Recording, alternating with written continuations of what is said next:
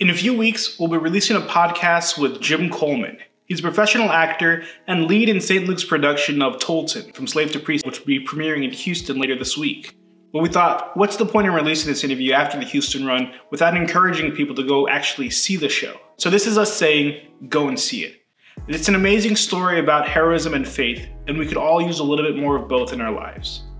But if my words aren't enough, here's the director of the play, Leonardo Defilippis, to tell you why you should check it out. I would venture to say that he not only is one of the more important people, obviously, in the Black Catholic community, but he's one of the most important people in uh, the church. And I would venture to say he's one of the most important Black figures in the entire history of the United States. And he's not known. And but he's that, but he, he is going to be known more because like a lot of other black figures, they were important, but this one is on his way to sainthood. And that sainthood is so powerful. I think on the other hand, too, he's a priest.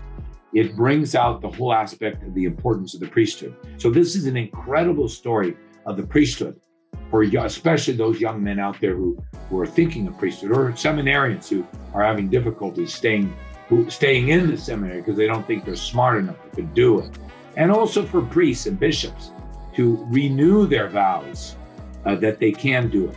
You have four chances to catch Tolton from Slave to Priest in Houston at St. Mary of the Purification on September 8th, at St. Justin Martyr on September 9th, at St. Ignatius of Loyola on September 10th, and at St. Joseph Catholic Church on September 13th. So tell your friends, your family, your coworkers, this is something you don't want to miss. And make sure to follow us, Max Studios, on Instagram and YouTube to check out our full length interview with Jim Coleman when it comes out.